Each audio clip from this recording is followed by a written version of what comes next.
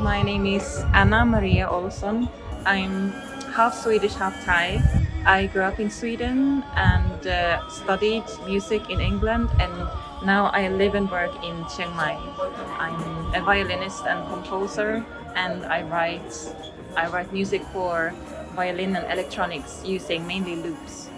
My music oh, it's very quite cinematic or minimal or ambient or like a mixture of those and I'm very inspired by by like post-classical composers and film composers and uh, Japanese composers like Joe Hisaishi and Ryuichi Sakamoto as well.